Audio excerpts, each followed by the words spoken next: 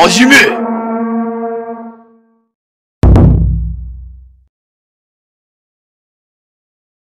今回はこんな絵です。あの、覚えるために語尾になりがつくキャラクターをモチーフにしております。いますよね。語尾になりがつく有名なキャラクター。あそして、舌をペロッと出していますね。何かしょっぱいものでも食べたんでしょうか？今回はこちらの絵でやってまいります。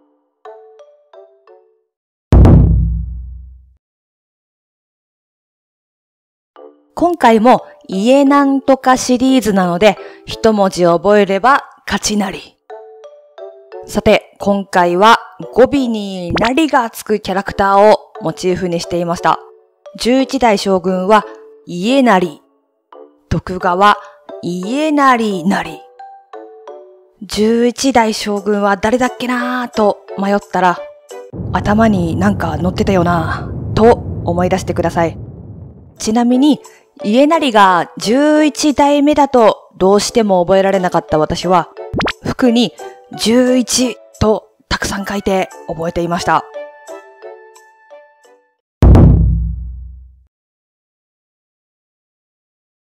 11代家成が将軍の時に老中の松平定信が完成の改革を行います。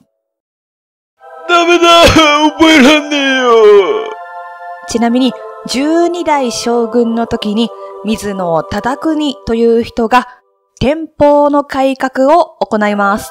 水野に殺されるうえ大丈夫。こんな様子を思い浮かべてください。ロボットを作っていた家成が何か伝えたいそうです。松平、完成なり。松平、完成なり。松平、完成なり。松平定信が完成の改革を行いました。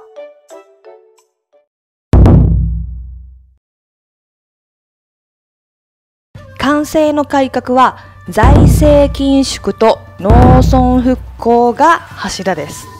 特に大事な4つの政策をサクサクっと見ていきましょう。まずは囲い米です。飢饉に備えてお米の備蓄を大名たちに命じます。文字通りお米を囲っているイメージです。続いて人足寄せ場の設置。不浪人や無宿人などを収容する施設を設けます。困った人たちが引き寄せられるように足を運ぶイメージです。続いて、七部金積立。貧しい人を救済するための政策です。町の70%のお金を節約して積み立てさせる制度です。もしもの時に備えます。最後に、期限令。ざっくり言うと、借金を放棄させる法令です。借金に困っている旗本や御家人が助かりました。お金を貸している人が、キエーと言ってます。期限令です。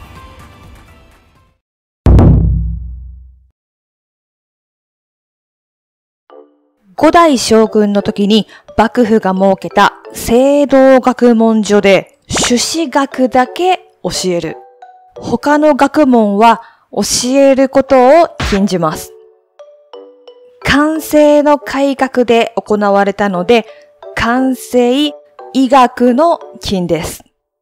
その後、聖堂学問所は、昌平坂学問所に変わります。幕府直轄の学問所になりました。この昌平坂学問所もテストに出やすいので、こう思い出してみてください。完成の改革を行ったのは松平定信ですが、その時の将軍は家成です。こちらのキャラクター、昭和から平成にかけて愛されたキャラクターです。昭和、平成、小平、小平坂、小平坂学問所です。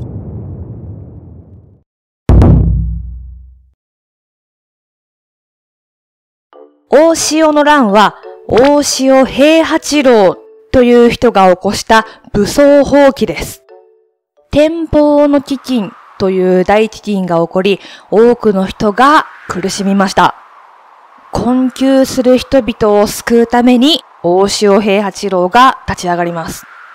幕府の元役人の大塩による反乱は強い衝撃を与えます。この天保の飢饉、大塩平八郎、大塩の乱、テストに出やすいです。こちらのキャラクターを用いて覚えていきましょう。えこちらの作品、こんな感じのオープニングでした。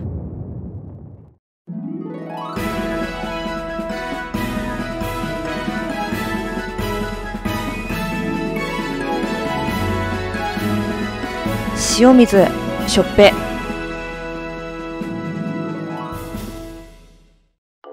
テンポがいい曲でしたね。そして海が目に入ったと思います。海は塩水です。テンポがいい。天保の基金。塩水。大塩平八郎。大塩の乱。家なりも塩水しょっぺーっとベロをペロッと出してます。終わり